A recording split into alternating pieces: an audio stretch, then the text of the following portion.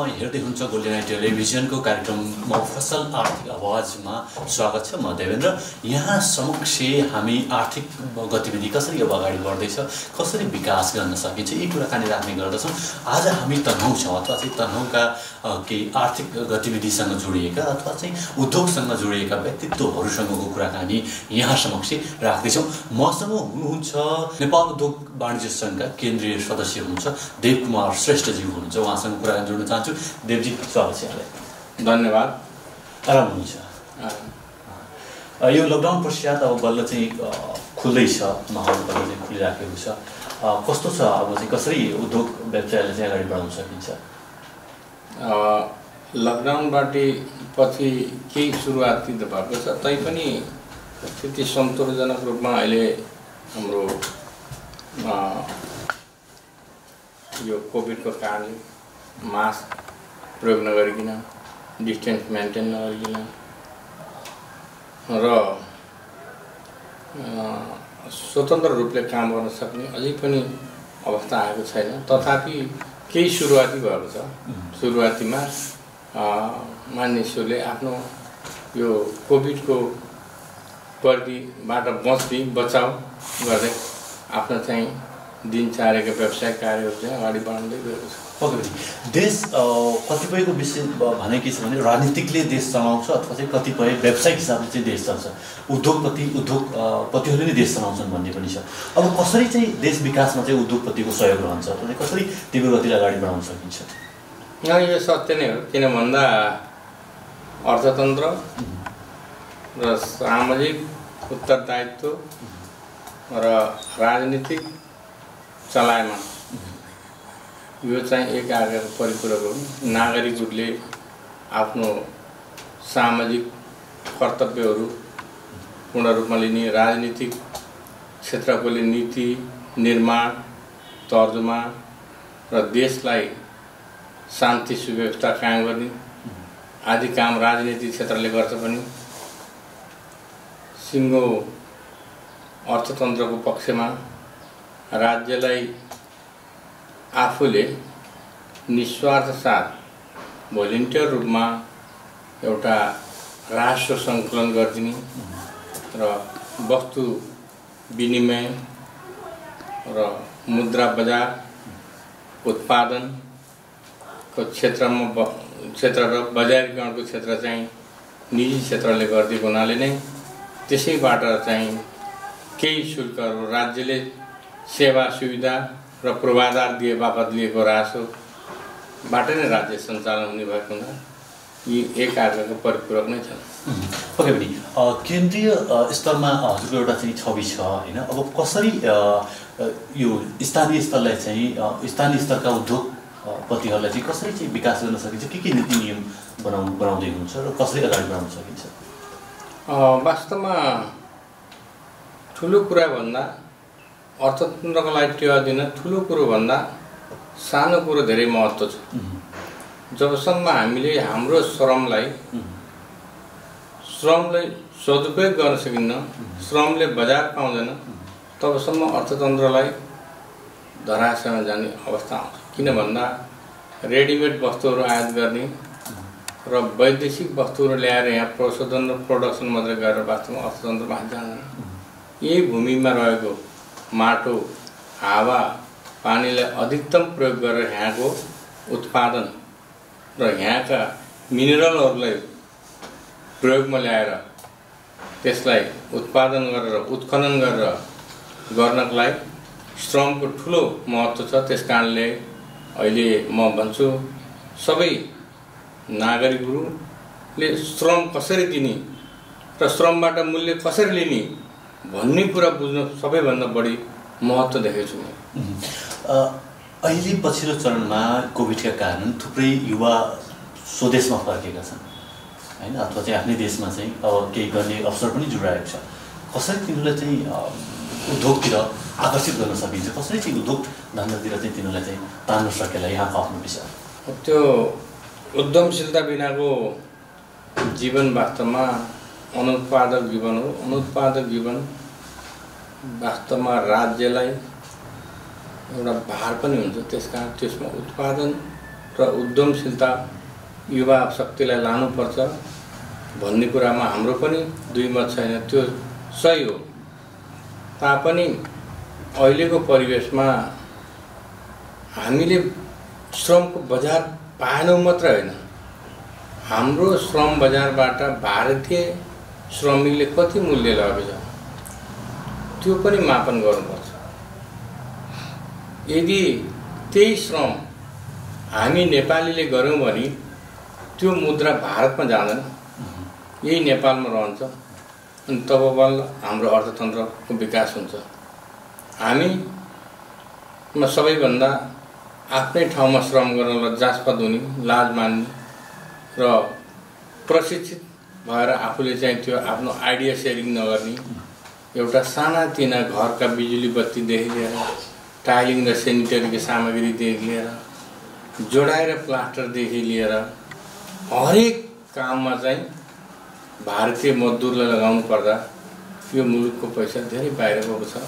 त्यस कारण भारतीय श्रमिकलाई विस्थापित गर्नलाई दक्ष र सबल नेपाली श्रमिक उत्पादन गरेर नेपाली श्रमिकबाटै श्रम परिचालन गरेर मात्र हामीले चाहिँ हाम्रो श्रमको मूल्य भनेको त्यो हो खरिद होइन आफ्नो शक्ति हो। त्यो भनेको हन्ड्रेड पर्सेन्ट हाम्रो त्यस कारण हामी हामी दक्ष श्रमिक बनाएर नेपाली भाइ दाजुभाइहरू नेपालमै श्रम गर्नुपर्छ भन्ने परिवेशमा हामी लागिपरेका छौँ र लाग्ने पनि छौँ। जब त्यो हुँदैन तबसम्म अर्थतन्त्र पनि आफ्नो भएको केही वैदेशिक मुद्रा आयातित मुद्रा पनि फेरि बजारीकरणको लागि बाहिर निकासी हुन्छ।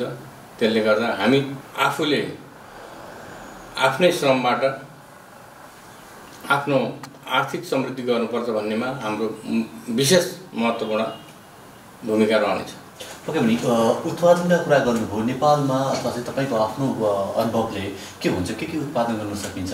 के के उत्पादनमा युवालाई चाहिँ लगानी अथवा चाहिँ त्यतातिर केन्द्रित गर्न सकिन्छ?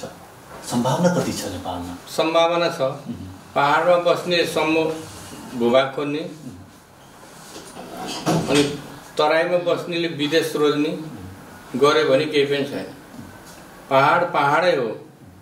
पाहाडमा पाहाडमा पाइने फलफुल उत्पादित वस्तुहरू तराईका समूह भूभागमा पाइन्न। पाहाडले दिने जडीबुटी तराईले दिँदैन विदेशले पनि दिँदैन। ठिक छ हाम्रा जडीबुटीहरू यति महत्त्वपूर्ण र मूल्यवान छन्। जुन एक बोरा एक क्विन्टल चामल किन्नलाई हामी एक सय ग्रामको जडीबुटीले किन्न सक्छौँ। त्यो खेती किन नगर्ने हामी? जब मलेसियाले चामल उत्पादन गरेर विश्व बजारमा सस्तो दिन सक्छ भने हाम्रा जडीबुटीहरूलाई प्र प्रचार प्रसार गरेर वैदेशिक बजारीकरण गर्न सक्यौँ भने हामी त अरू देशभन्दा धेरै धनी हुन्छौँ। किन हाम्रो जडीबुटीहरूलाई ट्रान्सपोर्टेसन कट कम लाग्छ। त्यही कारणले पनि हाम्रा जडीबुटी उत्पादन प्रशोधनमा बढी जोड दिएर हामीले जस्तो जस्तो मेडिसिनहरू नै फार्मेस यो फार्मेटिकल्सको उत्पादनहरूमा हामीले बढी जोड दिएर हाम्रा औषधिहरूले वैदेशिक बजारमा ओट्न सक्नुपर्ने तर्फ हामी लाग्नुपर्छ। पनि पछिल्लो मैले केही समय अगाडि एकजना मित्रसँग म बसेको थिएँ। बिजनेस सम्बन्धी कुराकानी गर्दाखेरि आर्थिक सम्बन्धी कुराकानी गर्दाखेरि उहाँको राय के थियो भने सरकारले थोरै कम्पनी अथवा चाहिँ हामीले चाहिँ कम्पनी दर्ता गर्दाखेरि यो प्रक्रिया अलिक चाहिँ झमेला भएको थियो सहज भइदियो हुन्थ्यो भन्ने पनि कुराकानी थियो। यहाँको विचार के छ? अथवा चाहिँ युवा जो नेपालमा बसेको छ तिनलाई चाहिँ कम्पनी अथवा आफ्नै कम्पनी आफ्नै उद्योग धन्दा चाहिँ दर्ता गर्ने प्रक्रियामा चाहिँ कसरी सुझाव सल्लाह दिनुहुन्छ? अथवा कस्तो प्रक्रिया चाहिँ केही छ यहाँलाई चाहिँ आम युवाहरूलाई दर्शकहरूलाई चाहिँ भन्नका लागि केही छ भने राखिदिँदा हुन्थ्यो वास्तवमा म यो कुरामा पूर्ण सहमत छैन किन भन्दा यो गर्न चाहनेले यो त्यति झन्झटिलो छैन। गर्न नचाहनेको लागि झन्झट बनेको। होइन भने यो अरू मुलुकमा पनि कम्पनी दर्ता गर्नै पर्छ ट्याक्स तिर्नै पर्छ एकाउन्ट राख्नै पर्छ। ती सबै कुराहरू त जहाँ पनि छ त्यो नभए काहीँ पनि होइन। राज्य सञ्चालनमा पर्ने खर्चको व्यवहार पनि बिहोर्नै पर्छ। राज्यले एउटा हाम्रो प्राकृतिक स्रोतबाट आएका वस्तुहरूलाई प्रयोग गर्ने र हाम्रो चाहिँ हरेक पूर्वाधारहरूलाई हामीले प्रयोग गरे बापत पनि हामीले चाहिँ त्यहाँ त्यो ट्याक्स दिने र त्यस्ता झन्झटले धेरै झन्झट होइन तापनि नेपालमा के छ भन्दा दक्ष राजनीतिक नेतृत्व र यो कर्मचारीहरूमा प्रलोभित कर्मचारीहरूको कारणले मात्र दुःख भएको विधि र नियम त्यति साँगुरो होइन। त्यहाँको बस्ने कार्यान्वयन पक्षको मान्छेको विचार सानो र सङ्कुचित कारणबाट हामीले दुःख पाएका हौँ। केही राजनेता र कर्मचारीहरूले यो राज्यको मेरो दायित्व भन्ने राम्रो पूर्ण पाठ सिक्न सक्नुभयो भने धेरै झन्झट होइन। म अन्तिम अन्तिमतिर छु यहाँले चाहिँ समय पनि दिनुभयो। आभार पनि व्यक्त गर्न चाहन्छु। अन्तिमतिर जस्तै मान्छेलाई के लाग्छ भने हजुरलाई देखिसके पश्चात देवकुमार श्रेष्ठ अथवा म पनि देवकुमार श्रेष्ठ जस्तो बन्न चाहन्छु। अथवा चाहिँ यो लेभल म जान चाहन्छु भन्ने हुन्छ। औद्योगिक क्षेत्रमा चाहिँ अथवा यसरी म जान चाहन्छु। र ती युवाहरूको लागि त्यो चाहने युवाहरूको लागि तपाईँको आफ्नो थोरै टिप्स। उद्योग धन्दामा कसरी आफ्नो चाहिँ महत्त्व बनाउने अथवा कसरी आफू चाहिँ बल भन्ने जान चाहने शक्ति चाहना भएको मान्छे देव कुमार श्रेष्ठसँग मात्रै होइन। शेखर गोल्छासम्म पनि पुग्न सक्छ। त्यो कुनै ठुलो कुरा होइन। उसको चाहनामा भर पर्ने कुरा हो। चाहना छ भने सकिन्छ।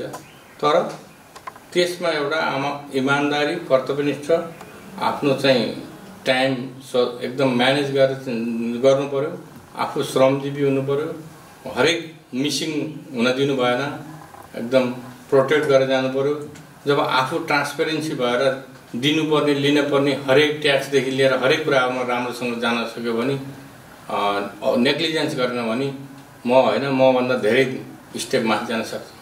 तपाईँ पनि आफ्नो अमूल्य समय दिनुभयो। यहाँप्रति आभार व्यक्त गर्न चाहन्छु। धन्यवाद। यहाँ गोल्डेन आई टेलिभिजनले दुई शब्द राख्ने अवसर दिनुभयो। यहाँहरूलाई पनि धन्यवाद।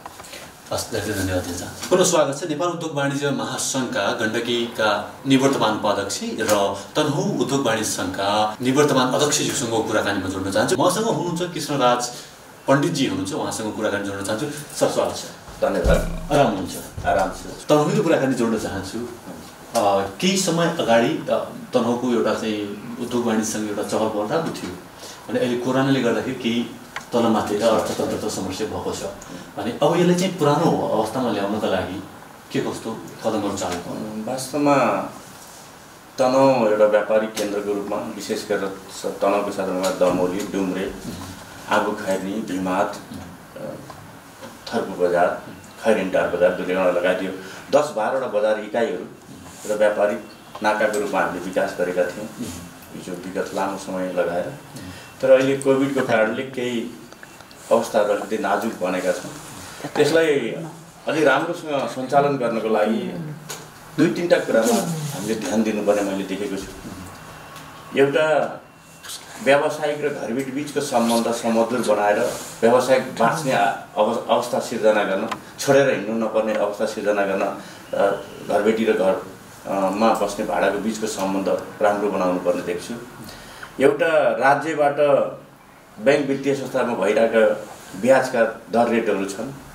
एक अङ्कभित्रै राखेर केही वर्ष एक अङ्क अङ्कभित्रै राखेर व्यवसायहरूलाई पुनर्कर्जा राहत प्याकेजहरूका कर्जाहरू दिएर पनि व्यापारीहरू बचाउन सक्ने र पुरानो थानमा स्थानमा लान सकिने हामीले सोचेका छौँ भने। अर्को हामी हिजो अलिकति कम मिहिनेत गर्थ्यौँ भने यो यो राज्यलाई र राष्ट्रलाई विश्वलाई परेको सङ्कटको बेलामा हामी पनि अलिकति मिहिनेत गरेर केही खर्चका पाटाहरू घटाएर आफूलाई अलिकति सन्तुलित बनाएर केही फजिल खर्चहरू कम गरेर पनि हामी यो व्याप- व्यापार व्यवसाय धान्न सक्छौँ र राज्यका केही नीतिहरू अब केही अब केही नीतिहरू करका नीतिहरूलाई खुकुलो बनाएर करका दायराहरू बढाउने कर अलिकति घटाएर पनि व्यापारीहरू बचाएर पुरानो अवस्थामा ल्याउन हामी कोसिस गर्छौँ। अर्थात् चाहिँ जोस जाँगरले अगाडि बढाउनको लागि तपाईँको एउटा चाहिँ यो आह्वान पनि भयो। आह्वान पनि गर्दछु म। खास कुरा के हो भने तनहु उद्योग वाणिज्य सङ्घको तपाईँ निवर्तमान अध्यक्ष पनि हुनुहुन्छ। हजुर। होइन? अनि सामान्य अवस्था पऱ्यो अथवा चाहिँ के भइदिन्छ भने ठुला कहाँ जाने चलन छ? अथवा चाहिँ केही समस्या पर्दाखेरि। कतिको तपाईँ कहाँ आए साथीहरूले चाहिँ सुझाव सल्लाह दिनको लागि अब यस्तो यस्तो भयो अध्यक्षज्यू हामी कसरी जाने भने चाहिँ कतिको सुझाव सल्लाह धेरै? साथीहरू आउनुभयो धेरै साथीहरूलाई हामी धेरै सल्लाहहरू दियौँ। अब मैले अघि नै तपाईँसँग भनिसकेँ केही घर घरधनी र घर बालमा बस्नेहरूको साथीहरूको बिचमा केही टसलहरू केही बिचमा पाँच सात महिना लकडाउन भयो दुई तिन महिना त पसलै खोल्ने अवस्था नै रहेन। त्यो समस्या पर्दा हामीले घरधनीसँग रात कति सक्नुहुन्छ? तपाईँहरूले सकेसम्म आफ्नो आफ्नो घरमा बस्ने व्यावसायिक मित्रहरूलाई बचाउनुहोस्। भोलि उहाँहरू बाँच्यो नि हजुरहरूको सधैँ थाहै रहन्छ तपाईँहरूको घर भाडामा सधैँ गइरहेको छ भनेर सम्झाएपछि धेरै ठाउँमा चाहिँ हामीले धेरै कुराहरू छुट गर्न सहज बनाइदियौँ। त्यो सेतुको भूमिका हामीले काम गरेका थियौँ। र व्यापारी साथीहरूलाई पनि अहिले नै भनिसकेँ हामी अलिक खर्च घटाउने आफ्नै पारिवारिक खर्च पनि कन् कन्ट्रोल गर्ने कि यो विश्वव्यापी महामारीले सबैलाई सबैलाई अप्ठ्यारो पारेको छ आर्थिक मन्दी छ। त्यस कारण हामी पनि अलिकति सजग भएर काम गरौँ भनेर भने हुनाले धेरै कुराहरू चाहिँ हामीसँग आउनुहुन्थ्यो हामीले सही सल्लाह दिएर पठाउँथ्यौँ। मेरो सन्दर्भ कहाँ जोडेको भने मैले जस्तै तपाईँ र अब तनहुको जो अहिले नयाँ टिम छ त्योसँगको सहकारी कस्तो छ? उहाँहरू कसरी चाहिँ तपाईँलाई चाहिँ होइन हामी यहाँले सोध्नुभयो राम्रो कुरा। हामी। वर्तमान अध्यक्ष हाम्रो हामी हाम्रो जिल्लाले केन्द्रीय सदस्य पनि पाएका छौँ। हामी सबै मिलेर एक आपसमा पदाधिकारी साथीहरूसँग बाह्रै बजार इकाइका सभापति साथीहरू सबैसँग सहकारी गरेर सल्लाहले कसरी उद्योग वाणिज्य तनाउको छविलाई अझै उच्च बनाउन सकिन्छ यहाँका व्यवसायीलाई कसरी स्थायित्व दिन सकिन्छ भनेर त्यो एउटा पाटो त्यसरी गरेका थियौँ भने अर्को हामीले यो जिल्लामा कसरी अन्तर्राष्ट्रिय स्तरका व्यवस उद्योगहरू भित्राउन सकिन्छ बहुराष्ट्रिय कम्पनीहरू कसरी भित्राउन सकिन्छ? हामी उद्योगीले व्यावसायिक नेतृत्वले के सहयोग गर्दाखेरि उहाँहरू आउनुहुन्छ भनेर पनि हामी स्थानीय तहसँग जिल्ला समन्वयसँग छलफल गरेर यहाँका राजनीतिक दलहरूसँग सामाजिक अभियन्ताहरूसँग छलफल गरेर आर्थिक समृद्धि उद्योग धन्दा बिना हुँदैन। विश्वको उदाहरणले पनि उद्योग र धन्दा बाहेकका अपवादका एउटा दुईवटा राष्ट्रबाहेक उद्योग धन्दाले मात्रै आर्थिक समृद्धि ए, मा पुगेका छन् त्यो एउटा समृद्धि पा बनाउनको लागि हामी सबै आर्थिक रूपमा सबल बन्नको लागि वैदेशिक उद्योगहरू ल्याउन सकियो बहुराष्ट्रिय कम्पनीहरू ल्याउन सक्यो भने सफल भइन्छ भनेर मैले उदाहरण एउटा बहुराष्ट्रिय कम्पनी आएको छ सूर्य नेपाल। जहाँ मैले नै त्यो जमिन ल्याउने कुरामा त्यहाँ विवाद रहेका केही स्थानीय स्थानीय साना ठुला विवाद साना कुराहरू विवादहरूलाई मिलाउने कुरामा म आफै नेतृत्व गरेर पहल गरेको थिएँ। त्यही भएर आज सयौँले रोजगारी पाएका छन्। आज तनहुको करिब करिब यो यो जिल्लाले उठाउने राजस्वको आठ आठ अरब कति लक्ष्य लिएको छ। साढे छ ख- सा- साढे छ अरब त बहुराष्ट्रिय कम्पनी सूर्य नेपालले मात्रै तिर्छ। त्यही कारण राज्यलाई पनि आर्थिक टेवा पुग्यो। हामी यहाँकालाई पनि धेरै साथीभाइहरूले रोजगार पाउनु भएको छ र समग्रमा तनाउले एउटा इन्कम ट्याक्स तिर्ने राजस्व तिर्ने मूल्यावधि कर तिर्नेमा राम्रो स्थानमा प्राप्त गरेको छ। पक्कै पनि। तनहुको त एउटा अभिभावकत्व तपाईँले सम्हालिसक्नुभयो र राम्रोसँग माया ममता पनि देखियो होइन? देखाउँदै हुनुहुन्छ। नेपाल उद्योग वाणिज्य महासङ्घ गण्डकीको तपाईँ निवर्तमान उपाध्यक्ष पनि हो भने गण्डकीलाई कसरी समग्र कसरी हेर्नु भएको छ? कसरी गण्डकीलाई विकास गर्ने? गण्डकीलाई समग्रमा हामीले गण्डकी अञ्चलभित्र एघारवटा जिल्लामा धेरै भूभागहरू अलग अलग प्रकृतिका छन्। हामीले उद्योग वाणिज्य महासङ्घमा पनि हामीले भनेका छौँ। हाम्रो जिल्लामा एउटा उत्पादन होला। अब स्याङ्जामा अर्को उत्पादन होला मनाङमा अर्को उत्पादन होला मुस्ताङमा अर्को होला अब पर्वतमा अर्को होला। हामी त्यो हिसाबले हेरेर एक जिल्ला एक उत्पादन सकेसम्म त्यो वातावरण निर्माण गर्ने अलिकति हिमाली भेगतिर अलि हाइट भएको ठाउँमा फरक किसिमका जस्तै कहीँ सुन्तला होला कहीँ अदुवा होला। हामी नामुद हाम्रो प्रचार भनेको तनाउको अदुवा छ स्याङ्जामा सुन्तलाको छ। हामी अदुवा र सुन्तला हाम्रो दुइटै छ। त्यस कारण अब मुस्ताङतिर स्याउको छ हामी समग्र गण्डकी प्रदेशलाई एउटा आत्मनिर्भर बनाउने र राम्रो उत्पादन र यहाँबाट बाहिर विदेश निकास गर्न सकियोस् भनेर अलग अलग जिल्लामा के सकिन्छ के उत्पादन गर्न सकिन्छ त्यसको हामीले यही यहीँ राखेर यही हलमा म आफै अध्यक्ष हुँदाखेरि समग्र तन गण्डकी प्रदेशको सम्भावना र चुनौतीको बारेमा मैले एउटा छलफलै चलाएको थिएँ। महासङ्घका साथीहरू पनि आउनुभएको थियो। त्यही भएर हामीले यो क्षेत्रको विकास गर्न हामीलाई धेरै सहज छ किनभने भूगोलले हामीलाई प्राकृतिक स्रोत साधन पनि हाम्रो छ हाइड्रो पावरहरू सम्भावना छन् हाम्रो यो लमजुङमा अब बेनीतिर हाइड्रोहरू कालीगण्डकी हाइड्रोहरू धार्मिक हिसाबले पनि हामी देवघाट जस्तो पवित्र मुक्तिनाथ जस्तो पवित्र थान पोखरामा भएका धार्मिक पर्यटकीय क्षेत्रहरू छन्। र आन्तरिक पर्यटक पनि भित्राउन सकिन्छ भने बाह्य पर्यटकहरू पनि ल्याउन सक्ने त्यो पनि सम्भावना छ। अर्को कुरा अब पोखरा अन्तर्राष्ट्रिय विमानस्थल बन्दैछ। समग्र पोखरा यो पच्चिस तिस किलोमिटर छ लेनको बाटो चार लेनको बाटो बन्दै गर्दा हामी बिस पच्चिस मिनटमा हामी पोखरा पुग्छौँ। यो मिनी पोखरै हुनसक्छ। त्यही भएर समग्र यसलाई टाइअप गरेर पोखरासँग जोडेर विकासका योजनाहरू हामी ल्याउन सक्यौँ उद्योगका आयोजनाहरू ल्याउन सक्यौँ भने यो चाँडै नै यसले गण्डकी प्रदेशले फड फड्को मार्छ भन्ने मलाई लाग्छ भने अर्को एउटा अब अहिले उत्तर दक्षिण राष्ट्रिय करिडोरहरू राष्ट्रिय राजमार्गहरू बन्छ काली गण्डकी करिडोर शालिग्राम करिडोरहरू छ जसले सजिलोसँग तराईको भूभागलाई जोड्न र उत्तरी चिनसँग र भारतसँग जोड्ने नाकाहरूको रूपमा यो यही गण्डकी प्रदेश भएर जाँदैछ। यसले पनि यसलाई अझै बढी ठुलो सम्भावना छ भने अब अलिकति कुरा अहिले कोभिडले हामीलाई सजग के बनाएको छ भन्दा अहिले हामी नेपालीहरू जो खाडी मुलुकहरू विदेश मुलुकमा गएका छौँ त्यहाँ गएर त्यहीँ बसेर त्यहाँ धेरै राम्रा सिपहरू पनि सिकेका व्यक्तिहरू हुन्छ हाम्रा साथीभाइ दाजुभाइहरू। जो बाध्यतावश जानुभयो त त्यहाँ गएर अवसर पाउनुभयो राम्रो फर्ममा काम गर्नुभयो धेरै कुरा सिक्नु भएको छ। त्यो सिपलाई हामीले यो कोभिडले यहाँ घर फर्केको बेलामा त्यो हामीले यहीँ प्रयोग गर्न सक्यो स्थानीय तहमा भने हामी अझै आर्थिक रूपमा अझै सबल बनाउन हामीलाई धेरै ठुलो टेवा पुग्छ। त्यस कारण पनि म अब यो गण्डकी प्रदेशमा धेरै प्राकृतिक स्रोत साधनदेखि लिएर धार्मिक पर्यटकीय क्षेत्रहरूदेखि लिएर सम्भावना भएका धेरै कुराहरू छन्। यसलाई हामीले उचित व्यवस्थापन गर्न सकियो। सेन्ट्रलाइजेसन नगरेर विकेन्द्रीकृत गरेर सबै जिल्लाहरूमा कहाँ के छ भनेर नेतृत्व प्रदेश तहले राम्रोसँग डिभाइड गरिदियो भने मलाई लाग्छ जहाँ जे स्कोर छ त्यसलाई सही उचित व्यवस्थापन गर्न सकियो भने गण्डकी प्रदेश चाँडै नै आर्थिक रूपमा समृद्ध बन्छ जस्तो लाग्छ पक्कै पनि। गण्डकी प्रदेशका कुराकानी राख्नुभयो सम्भावना पनि थुप्रै देखाइसक्नुभयो। र यो सम्भावनाभित्र पनि अब मैले अघि पनि एकजना मित्रलाई सोधिराखेको थिएँ। मानसिक अवस्था खलबल भएको अवस्था पनि छ। यसलाई चाहिँ सन्तुलनमा ल्याउन अथवा चाहिँ कसरी चाहिँ के गर्न सकिन्छ होला तपाईँ? मलाई लाग्छ। अहिले मान मान्छेहरू चाहिँ सम्भावना कम देख्छन् हजुरले त सप्रति देख्नुभयो। होइन एउटा यो सम्भावना छ। मलाई लाग्छ सकियो भन्ने पनि छैन मान्छेहरू मलाई लाग्छ राज्य राज्यमा राजनीतिक स्थिरता आयो भने एउटा नेतृत्व तहमा बस बस्नेहरू उचित एउटा क्षमतावान व्यक्ति जसरी हामीले कुलमान लाँदा हाइहाई गरेका छौँ। वास्तवमा कुलमानजीले कहीँ कहीँ आफ्नो व्यक्तिगत लगानी गरेर ल्याउनु भएको छैन नि। Right main right palace palace भन्छ। ठिक समयमा उचित मान्छे लाँदाको परिणाम यो आज हामी लोड सेडिङ मुक्त भएका छौँ भने यस्तै नेतृत्व राजनीतिक तहका व्यक्तिहरू पनि उदार भएर एउटा आफ्नो क्षमतावान व्यक्तिहरू त्यो बिचमा आपसमा संवाददारी गरेर सहकारी गरेर यो गण्डकी प्रदेशलाई कसरी बनाउने भन्ने कुरोहरू एकदमै छलफलको रूपमा उद्योग वाणिज्य सङ्घका व्यक्तिहरू पनि राखेर गऱ्यो भने मलाई लाग्छ गण्डकी प्रदेश आर्थिक रूपमा समृद्ध बन्न धेरै लामो समय कुर्नु पर्दैन। गण्डकी प्रदेश र तनहु उद्योग सङ्घको पनि नेतृत्व गरेर चाहिँ गण्डकी प्रदेश पनि नेतृत्व गरिसक्नुभयो। के छ केन्द्रमा जाने अथवा चाहिँ केन्द्रको लागि के कतिको दौडधुप हुँदैछ अथवा केन्द्र कस्तो कहिले हामीले देख्छौँ? सरलाई के छ मलाई वास्तवमा अहिले अहिले नै केन्द्रमा जाने धेरै साथीहरूले आह्वान गर्नुभएको थियो। आउनुहोस् तपाईँ जतिको व्यक्ति भन्दै हुनुहुन्छ तर मैले आफ्नो बिजनेस अलिकति बढाएको। अहिले दुई तिनवटा कारोबारहरू थपे हुनाले मलाई केन्द्रतिर भन्दा म यहीँ स्थानीय बस्छु स्थानीय चुनाव भयो भने भोलि सम्भावित ठाउँमा म आफै जनताको सेवा गर्छु भन्ने उद्देश्य लिएर उद्योग वाणिज्यसँग निवर्तमान र प्रदेशको उपाध्यक्ष निवर्तमान भएर म स्थानीय तहमा नै लाग्छु र यहाँका स्थानीय तहसँग सहकार्य गरेर यहाँको आर्थिक समृद्धिमा आफ्नो भूमिका आफूले आफ्नो भएको क्षमता प्रयोग गर्छु भनेर मैले खासै ठुलो रहर गरेको छैन।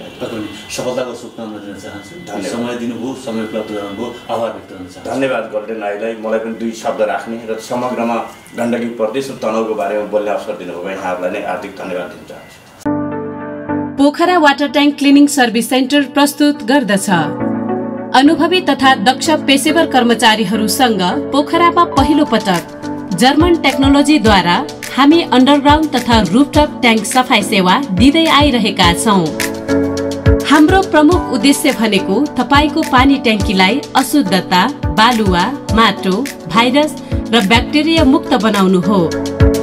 हामी तपाईँको वाटर ट्याङ्क सफा गर्न जर्मनी प्रविधि प्रयोग गरेर हाई प्रेसर वाटर जेटिङ साथै ब्याक्टेरियाहरू हटाउने प्रक्रियाको साथसाथै भ्याकुम क्लिनिङ र युभी ट्रिटमेन्ट्सहरू समावेश गर्दछौँ। आजै तपाईँ आफ्नो घरको पानी ट्याङ्की सफाई गर्नु परेमा हामीलाई सम्झनुहोस्। Healthy water healthy life. Pokhara water tank cleaning service centre Rani Pauwa एघार पोखरा। सम्पर्क नम्बर अन्ठानब्बे चार उनसत्तरी चौध सात सय सैतिस। अन्ठानब्बे दुई एकाउन्न उन्तिस नौ सय सन्तानब्बे। वैदेशिक रोजगारको सुवर्ण अवसर। विगत सत्र वर्षदेखि निरन्तर सेवा दिँदै आएको विश्वासिलो र भरपर्दो नेपाल सरकारबाट मान्यता प्राप्त एकमात्र मेन पावर जुपिटर ओभरसिज प्रणाली Saudi Qatar Dubai Malaysia Kuwait Oman Bahrain Maldives लगायतका देशहरूमा रोजगारका लागि जान चाहनुहुन्छ भने तुरुन्त सम्पर्क गर्नुहोला। यसका साथै दुबईको चाइना स्टेट कम्पनीमा बेसिक तलब एक हजार तेइस खाना बस्नको सुविधा सहित एक सय जना इन्डोर हेल्परहरू माग भइआएको छ। सम्पर्क जुपिटर ओभरसिज प्रणाली पोखरा पृथ्वी चोक नागढुङ्गा। फोन नम्बर शून्य एकसट्ठी पाँच पच्चिस नौ सय चौध अन्ठानब्बे चार साठी छब्बिस दुई सय एकानब्बे। सम्झनुहोस् शून्य एकसट्ठी पाँच पच्चिस नौ सय चौध अन्ठानब्बे चार साठी छब्बिस दुई सय एकानब्बे। अन्तर्राष्ट्रिय आयस्व प्राप्त पर्फेक्ट ग्रुप इन्डिया अन्तर्गतका। Parketsun Ultrasun Energysun solar water heater solar light inverter battery water filter water treatment plant AC kitchen chimney cooking range hub modular kitchen तथा एसेसोरिज वाटर प्रुफ पार्केटका सम्पूर्ण कार्य गरिनुका साथै स्पेयर पार्ट्स र मर्मतका लागि नेपालको अधिकृत विक्रेता B N Ashish trading proprietor Homraj Bhattarai. Mobile number अन्ठानब्बे पाँच साठी चौबिस नौ सय पैँतिस। फोन नम्बर शून्य एकसठी त्रिपन्न अठाइस अठहत्तर। शून्य एकसठी बाहन्न साठी चौतिस। आयुर्वेदका विशेषज्ञद्वारा बिना अपरेसन सम्पूर्ण समस्याको समाधान। अब तपाईँ हाम्रै सहर पोखरामा। मलद्वार र मलाशयमा हुने समस्याहरू। Piles fissure fistula. दिशा गर्दा रगत आउने दुख्ने पोल्ने गोस्ने दिशा गर्न गाह्रो हुने। बुधबारमा मासु पलाएको पिप आउने जस्ता समस्याको दैनिक छार सूत्र विधिबाट सफल उपचार हुने। महिला सम्बन्धी समस्याहरू तल्लो पेट दुख्ने महिनावारी गडबडी बच्चा नरहने समस्याको उपचार। नयाँ तथा पुरानो पिनास नाक बन्द हुने नाकमा मासु पलाएको टाउको दुखिरहने तथा जन्डिस जस्ता समस्याको उपचार। शरीर दुख्ने जोर्नेको दुखाइ बाथ युरिक एसिड ढाड दुख्ने आदि समस्याको सफल उपचार। कालो पोतो डन्डीफोर शरीर चिलाउने दुबी मुसा एलर्जी दाग छातीको दाग दुब्लोपन मोटोपनको सफल उपचार। स्टिम बाथ शिरोधारा स्वीकृति आयुर्वेद क्लिनिक प्रणाली पोखरा साथ राष्ट्र बैङ्क चोक राष्ट्र बैङ्क गेट अगाडि। फोन शून्य एकसठी चार बैसठी छ सय तिरासी मोबाइल अन्ठानब्बे पाँच साठी बिस छ सय सत्ताइस। फोनबाट पनि नाम दर्ता गराउन सकिनेछ। लक्ष्य टेरस रेस्टरुम बाथरुम तथा धाराका सम्पूर्ण गुणस्तरीय सामानहरू।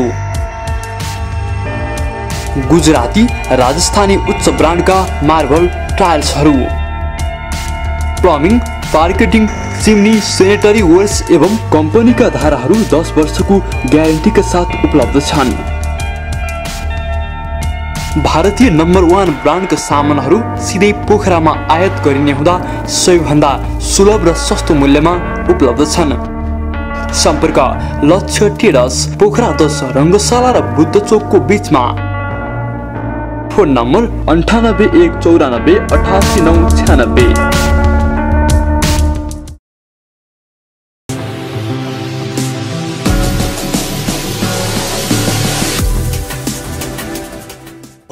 स्वागत छ। हामीसँग आज हामी तनहुमा छौँ अथवा तनहु उद्योग वाणिज्य सङ्घमा छौँ। यहाँका चाहिँ गतिविधि समेट्दैछौँ र मसँग प्रथम उपाध्यक्ष हुनुहुन्छ वैकुण्ठ नाथ मिश्रजी हुनुहुन्छ। उहाँसँग कुराकानी राख्न चाहन्छु। सर स्वागत छ। धन्यवाद। तनहुका थुप्रै कुराहरू सोधिसके होइन अब तनहु उद्योग वाणिज्य सङ्घ तनहुका चाहिँ उद्योगपतिहरू उद्योग व्यवसायहरू के कस्तो चल्दैछ यो कुरा हामीले थोरै धेरै जानकारी पायौँ।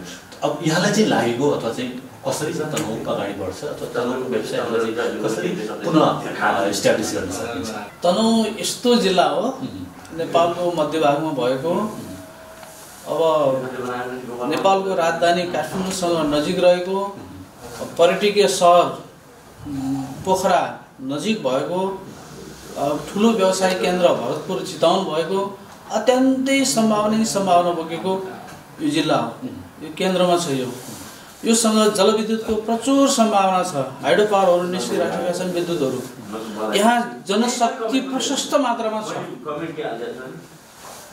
ऊर्जा छ जनशक्ति छ भूगोल छ व्यवसाय गर्ने क्षेत्रहरू छन्।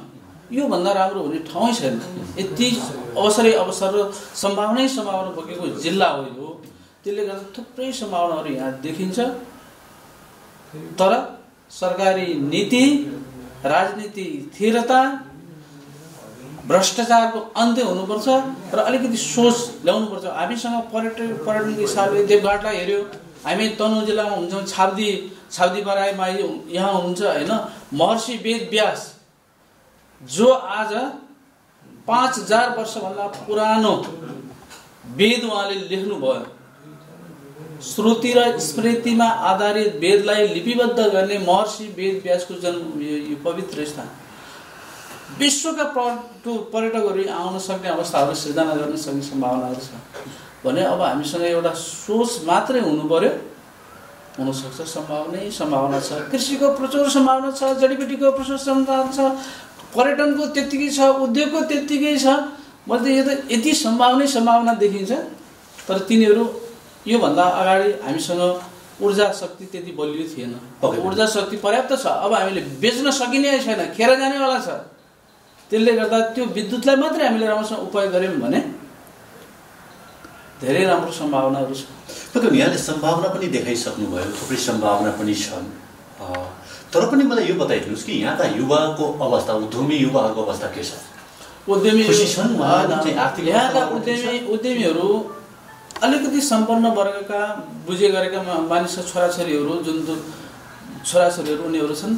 अमेरिका बेलायत क्यानाडा विकसित राष्ट्रहरूमा उनीहरू छन्।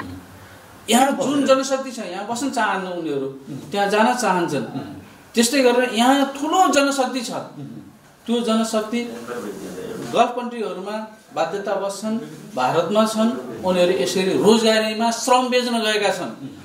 मुलुकको सबैभन्दा ठुलो सम्पत्ति भनेको श्रम शक्ति हो तर राज्यले चिनिन्छ तिनीहरू। र यहाँ केही राजनीति गर्ने पार्टीहरूले पालेका मुन्द्रे चुल्डे अब रक्सी खाने हिँड्ने यिनीहरू गर्ने र पाल्ने के राजनीति विशेष गरेर म राजनीति पार्टीलाई भन्छु उनीहरूले पालेका त्यस्ता मान्छेहरू मात्रै छन् जुन युवा पनि यहाँ बेरोजगार युवा धेरै छैनन्। एउटा त्यो वर्ग छ एउटा अब युरोपियन कन्ट्रीहरू अमेरिकन मुलुकहरूमा छन् भने अरू गल्फ कन्ट्रीहरूमा छन्। तिनवटा वर्गमा छुट्यो तिनवटा वर्ग छन्। आज सेना छन् उनीहरूका के छ भने राजनीति पार्टीका सेना पालेका छन् उनीहरूले। त्यो वर्ग हो नत्र सच्चा र इमान्दार लगनशील वर्ग गर्ने वर्गहरू अब यहाँ छैनन्। तिनीहरू ल्याउनुपर्छ यहाँ। के चाहनुहुन्छ? राज्यले के गरिदिए चाहिँ ती युवा युवा युवतीहरू अथवा चाहिँ त्यो श्रम शक्ति बेच्न गएका हाम्रै देशमा यत्रो सम्भावना भएको ठाउँमा बस्न सक्थ्योलाई के के गरिदिनु पर्यो राज्यले? यहाँको राज्यले राज्यले के थियो एउटा राजनीतिक स्थिरता हुनु पर्यो अर्को सम्मान हुनु पर्यो अर्को अवसरहरू तपाईँलाई के थियो भने उद्योग खोल्न त उनीहरूले सक्दैन। औद्योगिक वातावरण सृजना गरिदिनु पर्यो राज्यले। व्यवसाय लगानी गर्न तयार छ। आज नेपालमा भएको व्यवसायहरूले यहाँ लगानी गर्लान्। मल्टिनेसनल कम्पनीहरू आज चिनमा गएर चाहिँ व्यापार गर्नेहरू अमेरिकाले गरेका छैन कि जापानले गरेका छैन साराले गरेका छ। सम्भावना पुगेको ठाउँमा होइन मल्टिनेसनल कम्पनीहरू यहाँ भित्रिन्छन्। हाम्रा हजारौँ युवाहरूलाई रोजगारीको अवसरहरू यहीँ मिल्छ। आज त्यहाँ भएका गल्फमा गएर काम गर्नेहरू पनि तिनीहरू बहुराष्ट्रिय कम्पनीमा काम गरेका छन् धेरैले। छ नि सम्भावनाहरू यहाँ छ। तर राज्यको नीति र पोलिसी एकदम राम्रो हुनु पऱ्यो इमान्दार हुनु पऱ्यो उनीहरू र कर्मचारीमा भएको करप्सन रोक्नु पऱ्यो यो पर्याप्त छ यहाँ। सबैभन्दा ठुलो दोष भनेको राजनीति अस्थिरता। दोस्रो ठुलो भनेको कर्मचारीहरूमा यति ठुलो करप्सन छ त्यो करप्सनको अन्त्य। सकिन्छ? चाह्यो भने किन सक्दैन। चाह्यो भने नसक्ने भने कुरै छैन। त्यो चाहिँ प्रधानमन्त्रीले सोच्नु पऱ्यो त्यो चाहिँ मन्त्रीले सोच्नु पऱ्यो त्यो भनेको राजनीति गर्ने मान्छेहरूले सोच्नु पऱ्यो त्यो भनेको राजनीतिक कार्यकर्ताले सोच्नु पऱ्यो त्यसलाई सिस्टममा लानको लागि त हामी व्यापार गर्ने व्यापारीहरूले सक्दैन। तर देश त व्यापारीले चलाउँछन् भन्छन् देश व्यापारीले कहाँ चलाउँछ? व्यापारीले के थियो? भने उनीहरूलाई परेको बेलामा के? बन्दुक देखाएर खुकुरी देखाएर चाहिँ चन्दा माग्यो भने दिन्छ उनीहरूले कि भोलि चाहिँ अवसरहरूको लागि चाहिँ नेताहरूलाई सहयोगको लागि दिन्छ कि आस्थाको लागि यो मान्छे दुःख पाएको छ उसले गर्ने सक्छ भनेर केही सहयोग गर्छ। व्यापारीहरूलाई अरू के दिन्छ? त्यो अवस्थामा दिन्छ। मेरो अर्थ के हो भने अर्थतन्त्र चाहिँ व्यावसायिक हातमा हुन्छ व्यवसायले गर्दाखेरि विकास हुन्छ भन्नु खोजे अब मैले मेरो होइन। तिनीहरू पक्का पनि हो तर त्यो खालको अहिलेसम्म पनि त्यो खालको नीति राम्रोसँग राज्यले दिन सकेको छैन त्यो सम्मान दिन सकेको छैन आत्मसम्मान दिन सकेको छैन। मैले बार बार भन्ने गर्छु कि बहुसङ्ख्यक दोस्रो पुस्ताका युवाहरू हामी व्यवसाय घरानाबाट आएका व्यवसायहरू पनि छैनन् माडवारी भने जस्तो तिन सय होइन दस पुस्ता बिस पुस्ता अगाडिदेखि व्यवसायमा आएको न व्यवसाय पुस्ता घरानाका हामी हौँ। बहुसङ्ख्यक व्यवसाय। तर हामी व्यवसायमा आयौँ। तर हाम्रा हाम्रा व्यव- हाम्रा हाम्रा दोस्रो सन्- सन्ततिहरू हामी यहाँ राख्न नचाहेर बाहिर पठाउन चाहिरहेको छौँ किन उनीहरूको सम्मान हुने ठाउँ पनि छैन। उनीहरू चाहिँ एकदम निष्ठावान भएर चाहिँ काम गर्छु भनेर काम गरेर बाँच्न सक्दैन यो। यो के थियो भने समुद्र सङ्लो पानीमा खेल्ने गरेकोलाई त्यो पोखरी माउर माछामा राखेर बाँच्न सक्दैन। त्यसले गर्दाखेरि त्यसको लागि मान्छेहरू बाहिर गएको छ। यो राज्यले दिएको छैन। यो राजनीति पोलिटिसियनहरूले दिएको छैन। पोलिटिसियनहरू सुध्रिन जरुरी छ। त्यो त सुध्रिने कुरा। तर अर्को कुरा मलाई यो बताइदिनुहोस् व्यवसाय भने चाहिँ मान्छेले चाहिँ के भन्छन् ठुलो पुँजी भए मात्र गर्न सकिन्छ भन्ने पनि मानसिकता छ। किन किन त्यो ठुलो पुँजीको कुरै होइन? हामी पनि सानै पुँजीले गरेका हौँ? हामी होइन दौलीमा हुने धेरै हामी सानै पुँजीले गरेका छौँ थुप्रै मान्छेहरू छन् सानै पुँजीबाट पनि बिस्तारै हुनसक्छ तर हामी ठुला त होइन निर्वाह गर्न सक्ने चाहिँ भएका छौँ। हुन्छ तिनीहरू। मेहनत गर्नु पऱ्यो व्यापारीले कति घन्टा काम गर्छ? बिहान छ बजीदेखि बेलुका नौ बजीसम्म उसले पसल बन्द नगरेर चाहिँ काम गरेको छ। आज हेर्नुहोस् त्यति समय दिनेको छ। राति सुत्दा उसले त्यसैलाई मात्रै चिन्तन मनन गरेको छ। त्यति समय कसले दिएको छ? यहाँ नेताले दिएको छ त्यस्तो काममा? कर्मचारीले दिएको छ? कसले दिएको छ? त्यति ठुलो श्रम चाहिँ व्यवसायले दिएको छ। उसले दुःख सुख नबनिकन चाहिँ उसले त्यो मेहनत गरेको छ। पक्कै पनि म थोरै कुरा के चाहिँ जोड्न चाहन्छु भने प्रथम उपाध्यक्ष पनि हुनुहुन्छ तनु उद्योग सङ्घको। होइन? यसले चाहिँ मतलब चाहिँ अहिलेको समस्यामा यहाँको कस्तो भूमिका रह्यो चाहिँ? अहिले यो कोभिड लगभग कोभिडको विषयमा। होइन कोभिडको कोभिडको विषयमा हेर्नुहोस्।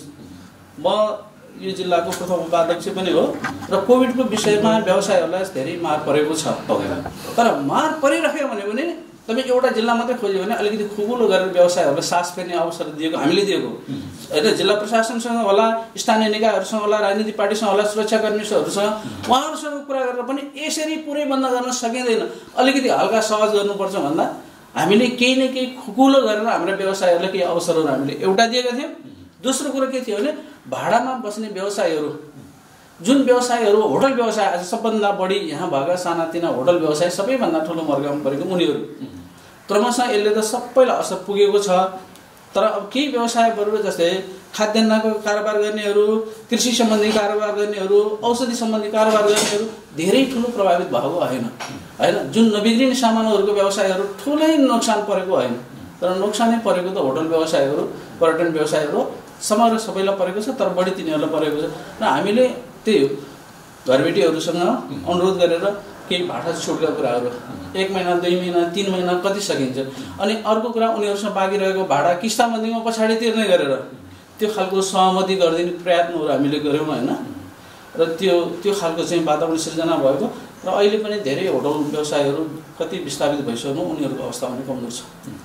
तिनलाई पु- पुनर्स्थापना गर्न सकिन्छ कि होइन उनीहरूको पुनर्स्थापना हुन सक्ने सम्भावनाहरू छ। मलाई एउटा कुरा के भनिदिनुहोस् भने उद्योग वाणिज्यसँग चाहिँ आबद्ध भइसकेपछि उनीहरूले फाइदा के हुन्छ? के के चाहिँ सहयोग हुन्छ? कसरी चाहिँ तपाईँले सहयोग गर्नुहुन्छ? त्यो म मानव तपाईँ मान्नुहोस् तपाईँ मान्नुहोस्। म मेम्बर भएँ। सुन्नुहोस् त्यो भयो भनेदेखि व्यवसायहरूलाई अलिकति सहज वातावरण बनाउनको लागि धेरै ठाउँमा त टाइट बन्द त थिए तर हाम्रो जिल्लामा त तिनीहरू चाहिँ भएन। केही केही खुकुलो काम सुन्नुहोस् खुकुलो काम गर्ने। व्यवसाय हाम्रो सदस्य भएको कारणबाट उनीहरूको घरबेटीसँग संस्थासँग। भाडाको लागि चाहिँ तपाईँहरूले विचार पुर्याइदिनु पर्यो भनेर भन्यो। त्यसलाई किस्ताबन्दीमा पछि पछि भाडा तिर्नेहरू सल्लाहहरू तिनीहरू दिउँ उनीहरूलाई खुकुलो गर्न। अब ब्याङ्क वित्तीय संस्थाहरूको कुरा गर्दाखेरि उनीहरूले दिने लोनको ब्याजहरूको टाइम होइन आखिरीमा आन्तरिक राजस्व लगायतका सम्पूर्ण करहरू यही इकाइदेखि लिएर केन्द्रसँग भएको कारणबाट केन्द्रीय पोलिसी बन्न सफल भयो ब्याज दर घट्यो आज होइन?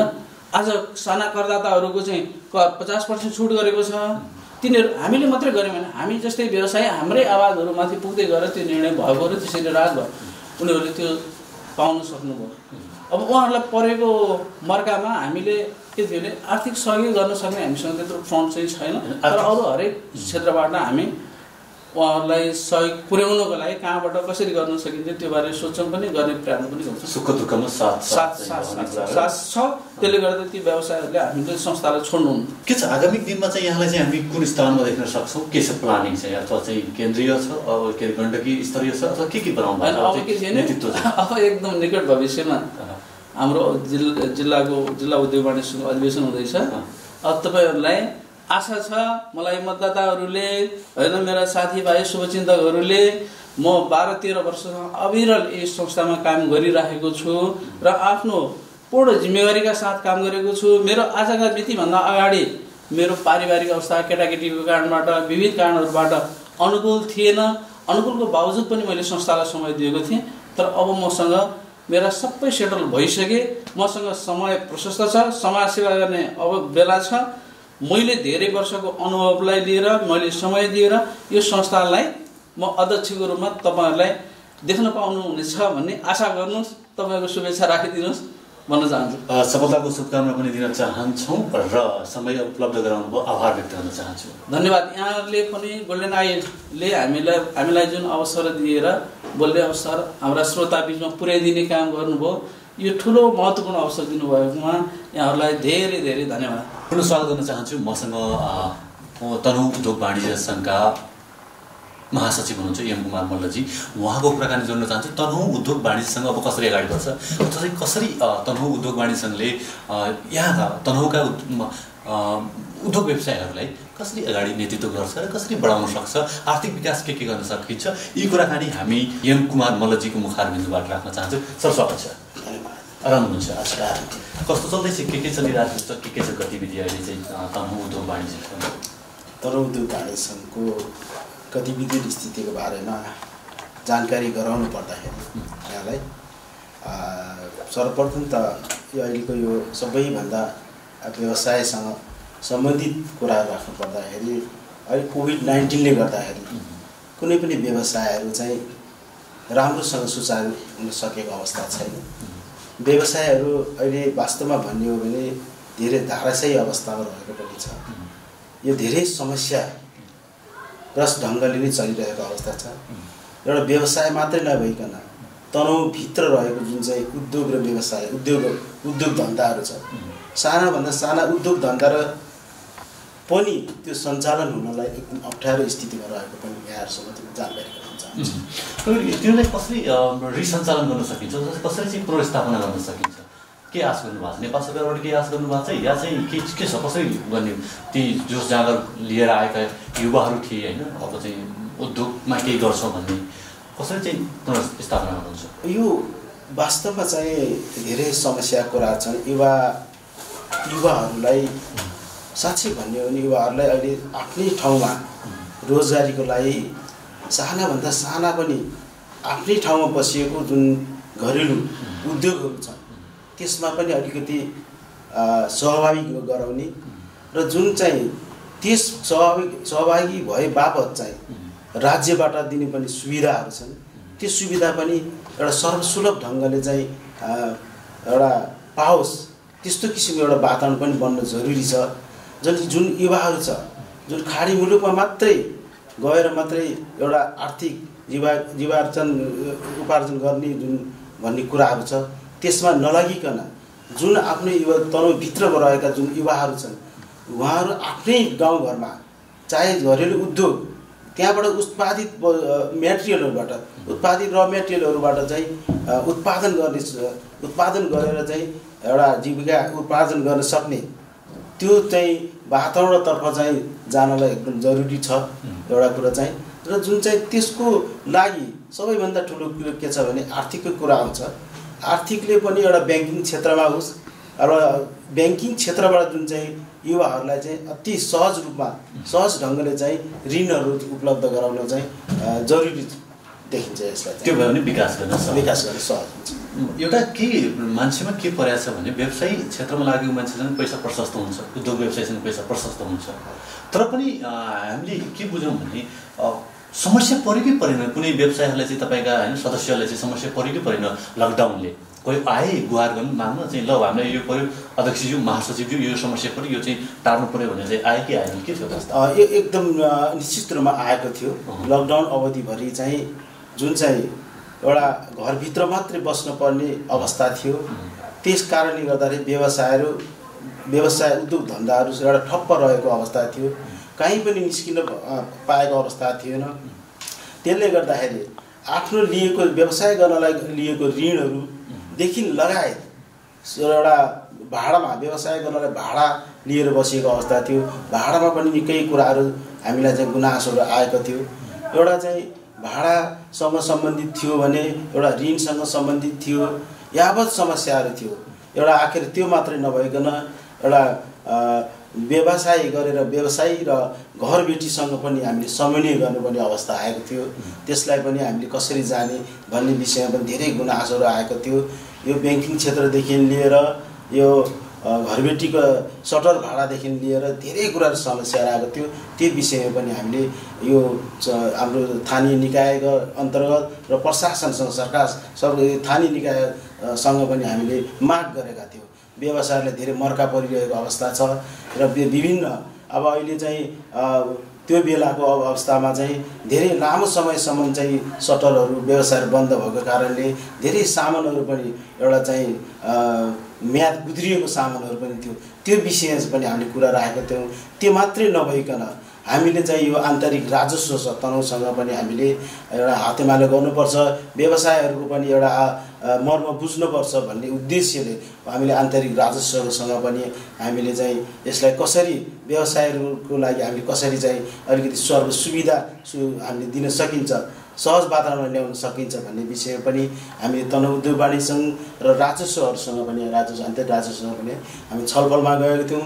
त्यही मात्रै नभइकन हामीले चाहिँ स्थानीय निकाय अन्तर्गत हाम्रो यो यसपाला ए स्थानीय निकायहरूका नगरपालिकाहरूसँग पनि हामीले चाहिँ समन्वयकारी भूमिका निर्वाह यस तनहु उद्योग वाणिज्यले गरेका थियौँ। यसरी गरेर चाहिँ समस्या समाधान चाहिँ गर्नुभयो। अब यी उद्योग व्यवसायहरूलाई जो जाँगर दिनका लागि के के कार्यक्रम योजना गर्दै हुनुहुन्छ? जस्तै मेला महोत्सव केही छ? प्लानिङ तयारी केही गर्दै हुनुहुन्छ? काउन्सिलिङ गर्ने कुराहरू केही छ? यो यसमा हामीले विगत वर्षमा पनि हामीले कोभिडभन्दा पहिला पनि हामीले वाणिज्य सङ्घले एउटा मेला महोत्सवको पनि आयोजना गरेका थियौँ। त्यो मेला महोत्सवले गर्दाखेरि पनि एउटा हामीले व्यवसायहरूको एउटा चाहिँ आफ्नो व्यवसायलाई प्रवर्धन गर्नको लागि हामीले एउटा ठुलो महत्त्वपूर्ण भूमिका निर्वाह गरि गरेका थियौँ यो एउटा महोत्सवले।